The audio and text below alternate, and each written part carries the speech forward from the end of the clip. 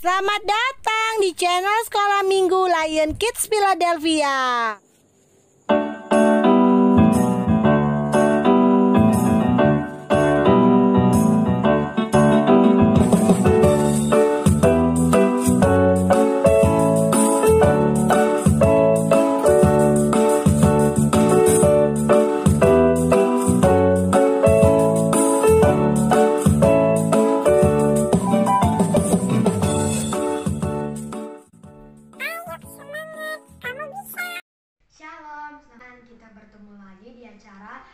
Kids Philadelphia Light of the Nation Kids Berakar dalam firman, bertumbuh dalam iman, berbuah untuk Tuhan Dan menjadi berkat Haleluya Sebelum kita membacakan firman Tuhan, kita berdoa dulu ya teman-teman Terima kasih Tuhan, sekarang kami mau mendengarkan firman-Mu Berkati kebenaran firman-Mu agar bisa menjadi rema, manfaat dan juga motivasi bagi hidup kami ya Tuhan Inilah doa kami ya Tuhan dalam nama Yesus. Haleluya. Amin. Kita buka di dalam Keluaran 17 ayat 1 sampai 15. Kemudian di masa dan di Meriba. Kemudian berangkatlah segenap jemaah Israel daripada gurun Sid, berjalan dari tempat persinggahan ke tempat persinggahan. Sesuai dengan titah Tuhan, lalu berkemahlah mereka di Rafidim.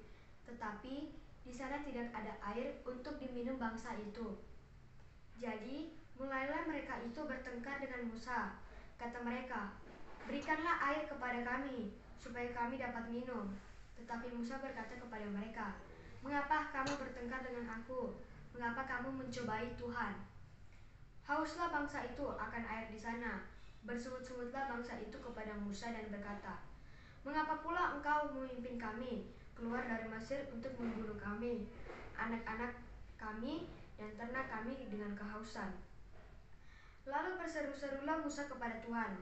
Katanya, apakah yang akan kulakukan kepada bangsa ini? Sebentar lagi mereka akan melempari aku dengan batu. Berfirmanlah Tuhan kepada Musa, Berjalanlah di depan bangsa itu dan bawalah beserta engkau beberapa orang dari antara para tua-tua Israel Bawalah juga di tanganmu tongkatmu yang kau pakai memukul sungai Nil dan pergilah. Maka aku akan berdiri di sana di depanmu di atas gunung batu di Horeb. Haruslah kau pukul gunung batu itu dan dari dalamnya akan keluar air, sehingga bangsa itu dapat minum. Demikianlah diperbuat Musa di depan mata tua-tua Israel. Didamailah tempat itu masa dan meriba oleh karena orang Israel telah bertengkar dan oleh karena mereka telah mencobai Tuhan dengan mengatakan, Adakah Tuhan di tengah-tengah kita atau tidak? Kemenangan orang Israel melawan orang Amalek. Lalu datanglah orang Amalek dan berperang melawan orang Israel di Rafidim.